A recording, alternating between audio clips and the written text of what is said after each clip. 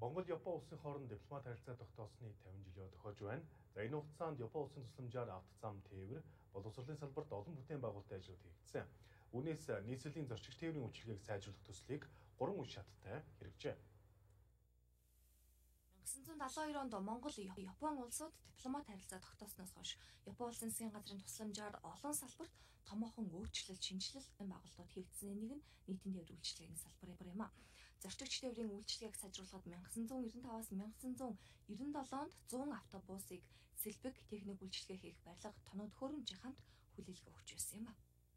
За 1995 он 94 оноос энэ өрнөсөн ялангуяа энэ зам тээврийн салбар өнөөдрийн бидний энэ зогсож байгаа хүн бүхний одоо сандаг Nissan Diesel Hino гэдэг энэ одоо автобуснууд нийтийн тээврт үйлчлэгээ эрхлэх явуулах энэ одоо үйл хэрэг бол бас энэ Монгол Японы харилцааны суур болж ирсэн. Монгол улс боловсролын салбар ялангуяа энэ төвлөрлөөс үүссэн хүртээмжийн асуудал, чанарын асуудал нэлээдгүй одоо хүн болж явах үед бол Монголын ард түмэнд бол Япон улсын засгийн газар Японы ард түмэн бол өсний үнд шилбэрөөр дамжуулж гэр хороолол за мөн одоо төв сүрэн газруудад дутагдчихсэн тэр боловсролын салбарт маш томоохон хөрөнгө оруулалтыг хийсэн байдаг. Ажилтгуу тусламж. За энийг бол дуртахгүй байж болохгүй. Одоо өдөр 50 зэргийн гадаад харилцаагаар их амжилттай э өнгөрч ирсэн.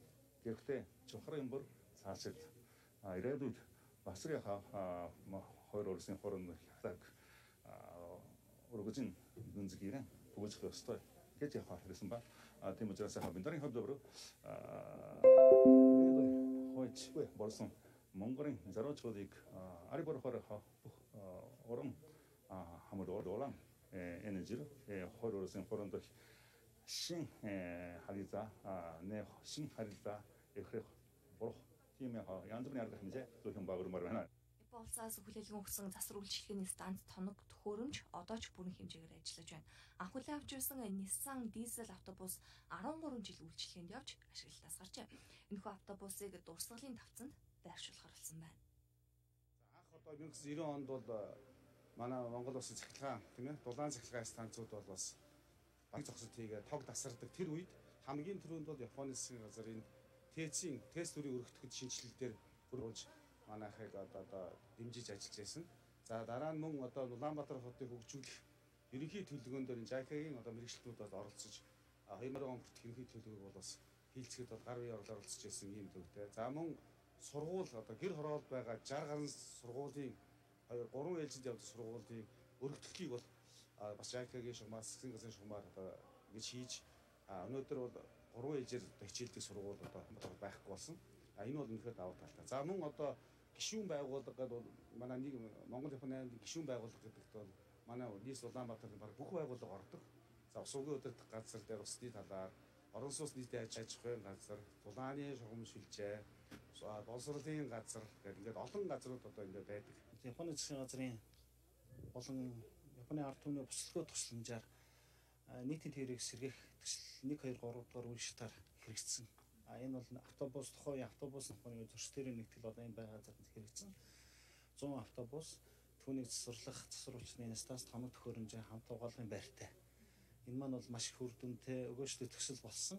Бид автобусаа сая гаруй километр гүйлгээд 14 жил ашиглаад 2009 оны хүртэл ингээд дараагийн 2009 онд бол 400 автобусыг Монгол Улсын засгийн газрын худалдаа авалтаар одоо энэ байгаа автосыг ашиглаад энэ маань бас 13 жил явж байна. Бас 950 60 мянган км сая төхөөл явж.